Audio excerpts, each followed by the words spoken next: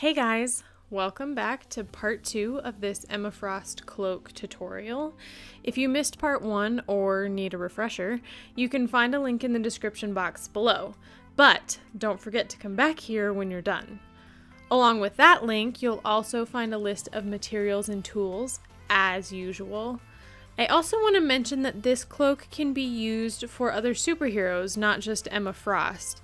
I know Edna Mode always says, no capes, but they just look so good, especially in slow motion. Am I right? For the edging, I used satin blanket binding. I used sew-on snaps to attach it to the corset. If I were to remake it, I would use hook and eye closures instead of the snaps. The snaps held up okay, but I definitely hulked out of it a few times. Not cute. After hemming the top edge in the last video, I moved on to the binding.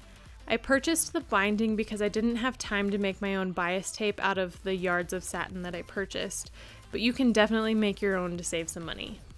I laid the cloak out flat on my floor, and so began the constant worry about getting the white satin dirty.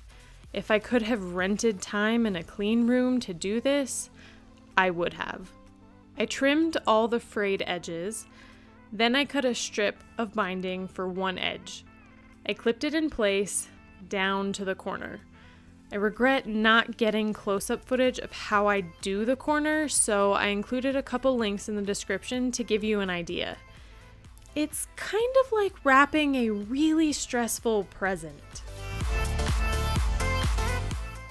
Anyway, I did this all the way around the edge of the cloak until I got back to the top edge.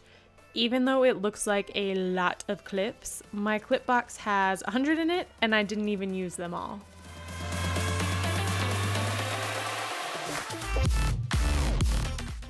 After clipping the binding, I sewed all the way around the edge in one go. Then I added some top stitching at the corners to keep them flat.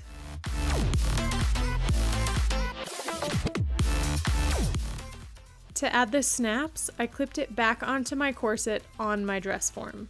Then I sewed them one pair at a time. I used three pairs on each side of the front, one in the center V, one at the peak of the sweetheart shape, and one just before my armpit, for a total of six pairs on the front. I used two pairs on the back and put them on either side of the back lacing. So eight snap pairs should do it, and I would use the same number of hook and eye closures as well. The snaps were quite tedious to sew on while it was on the corset. I suggest marking placement and then sewing from the comfort of your couch. Probably with snacks. I hope you enjoyed this tutorial. Let me know in the comments below who your favorite member of the X-Men is, as always, don't forget to like, subscribe, and hit the bell icon if you want to see more. Thanks for watching, and see you next time!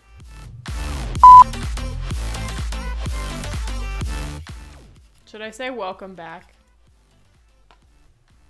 Or is that too present? That's gonna be great. You're like looking as I slowly creep out of this shot.